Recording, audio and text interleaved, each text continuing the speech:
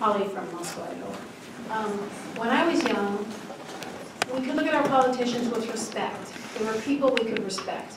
We knew that they, for the most part, were, as far as we knew, looking out for us.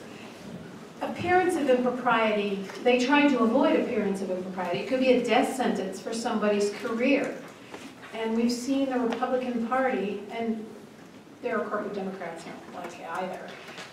This- But they were taken over by such an extreme bunch, the Tea Party. They're not even really the Republican Party anymore.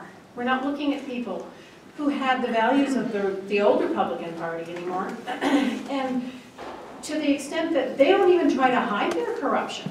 It's shocking to me that they wear it like a badge of honor. Well, yeah, I'm corrupt, deal with it.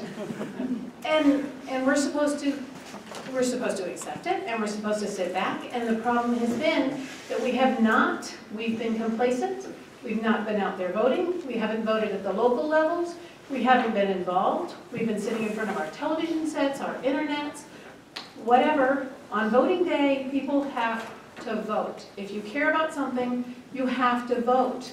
And I don't think the majority of Americans agree with what is going on now. They're taking away all the good that has been done in just, in no time. And it's just shocking to see that in this short period of time, this group of people are doing so much damage to the rest of us. Um, It's horrifying. I was kind of glad my parents aren't allowed to see it because they would be very, very ashamed of our country. Thank you.